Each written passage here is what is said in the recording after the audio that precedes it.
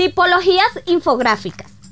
Existen varias tipologías infográficas que ayudarán a organizar y a enfocar mejor la información. Diagrama infográfico. Utiliza tablas, estadísticas, diferentes tipos de gráficas como lineal, histograma, circular, barras, entre otros. Infografía geográfica. Se utilizan para ubicar o describir un sitio específico, como una región, un paisaje, un país o planeta secuenciales o espaciotemporales. Muestra diversas etapas en un mismo gráfico, como una serie de actividades dentro de un tiempo, una fecha, un año o un siglo. Procesuales. Se pueden utilizar para mostrar una secuencia de acciones o acontecimientos.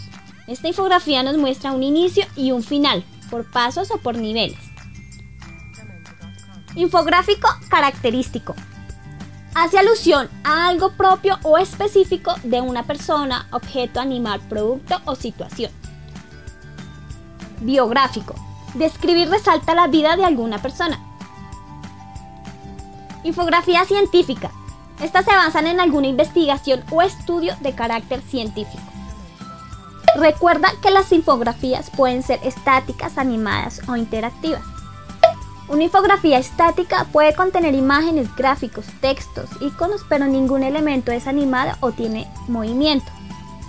Las infografías animadas o infografías GIF combinan música, narración e imágenes con movimiento. Y por último están las infografías interactivas. El usuario podrá modificarlas, explorar, hacer zoom, desplazarse de una pestaña a otra, pasar el mouse por encima en el que le muestre algún evento, como un video, un gráfico, o una imagen.